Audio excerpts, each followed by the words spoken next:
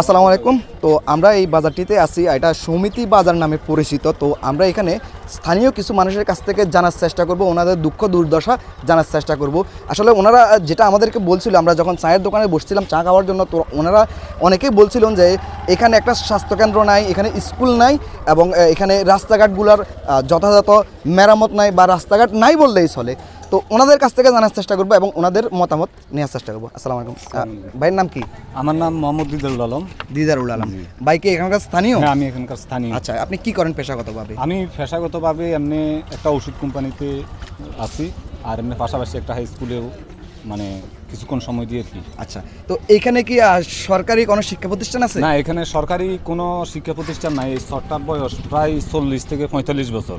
40, এই দীর্ঘ 45 বছর। চল্লিশ পঁয়তাল্লিশ বছরের মধ্যে এখানে কোনো তেমন কোনো শিক্ষা প্রতিষ্ঠান সরকারি কোনো শিক্ষা প্রতিষ্ঠান বলেন তারপরে স্বাস্থ্যসেবা কেন্দ্র বলেন কিছু বলতে এখানে কিছুই নেই। রাস্তাঘাটের অবস্থা একেবারে খারাপ। এটা সোলিং করা হয়েছে এটা বিভিন্ন জায়গায় রাস্তাঘাটে নষ্ট হয়ে গেছে। সোলিংগুলো ঠিকমতো করা হয় নাই। ঘাটে এখানে আমাদের মানে সবচেয়ে একটা গাঁট আছে সাইডের খাল নামের একটা গাঁট আছে। ওই গাঁটে বিশেষ করে বর্ষাকালে যাতায়াতের এত অসুবিধা যে মানে অনেক কষ্ট হয়ে যায় মানুষের। এখন এই এলাকার মানুষের দাবি হচ্ছে এলাকায় অন্তত একটা প্রাথমিক বিদ্যালয় একটা হাই স্কুল এরপরে একটা স্বাস্থ্যসেবা কেন্দ্র আর রাস্তাঘাটগুলো যদি ফিসের ব্যবস্থা করা হয় সরকারিভাবে যদি ফিসের ব্যবস্থা করা হয় তাহলে এলাকার মানুষের অনেক উপকার হবে। এরপরে আপনার এলাকার মানুষের এই বেশিরভাগ মানুষ বেকার কৃষক আর অন্য কোনো আপনার পেশার লোকজন খুবই কম। আচ্ছা তো এখানকার তাহলে আহ, জীবিকার প্রধান উৎস হচ্ছে প্রধান উৎস হচ্ছে কৃষি। কৃষি। এ হয়তো বর্ষার সিজনে মানুষ কিছু কাজ কাম করে কিছু টাকা পয়সা রুজি করে আর বছরের বেশিরভাগ সময় সাত আট মাস সময় মানুষ বেকারই বসে থাকে। তো সরকার যদি একটু মানুষের এই কর্মসংস্থানের ব্যবস্থার জন্য যদি কিছু করে তাহলে এলাকার মানুষের আপনাদের। স্থানীয় এই আপনারা কোন এলাকার মধ্যে পড়ছেন বা এই এলাকার আমরা এমপি কে আমরা এটা এখন আগে যদিও এটা সন্দীপের অধীনে ছিল এখন বর্তমানে এটা ডেমিগ্রেশন বাগ হয়ে যাওয়ার কারণে এটা কোম্পানিগঞ্জ নোয়াখালীর কোম্পানিগঞ্জ উপজেলার মধ্যে আছি আমরা। সরেলা কোম্পানিগঞ্জ উপজেলার সরেলা ইউনিয়ন ছয় নম্বর ওয়ার্ড এটা বিচ্ছিন্ন। আচ্ছা আচ্ছা। বিচ্ছিন্ন একটা ওয়ার্ড। আমাদের এমপি সাহেব হচ্ছে জনাব ওবায়দুল কাদের সাহেব।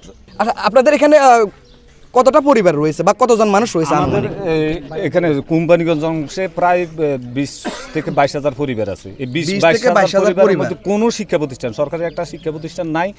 মানে ছেলে মেয়ে ছোট বাচ্চারা এই মানে বাড়িতেই বসে থাকে। বাড়িতে বসে তারা শিক্ষা প্রতিষ্ঠান আছে এখান থেকে প্রায় আমাদের এই বাজার থেকেও প্রায় পাঁচ ছয় কিলোমিটার দক্ষিণে। এই টোটাল এই সরে প্রায় দশ হাজারের মতো পরিবার। আর জনসংখ্যা প্রায় পঞ্চাশ থেকে পঞ্চান্ন ষাট হাজারের কাছাকাছি। বা সত্তর হাজার। হ্যাঁ সত্তর হাজারের কাছে তো মানে আমার আগের উনি তো বলছে আমাদের স্যার উনি তো বলছে এখানে তো আপনার এই- এই স্বাস্থ্যসেবা বলতে কিছু নেই। সীমাহীন লাখ যুগ অবস্থাতে আছে যে এলাকার মানুষ। আর তো রোডঘাট এগুলো তো আপনারা দেখতেছেন। জি। শিক্ষা প্রতিষ্ঠানও নাই চিকিৎসার কোনো ব্যবস্থা নাই।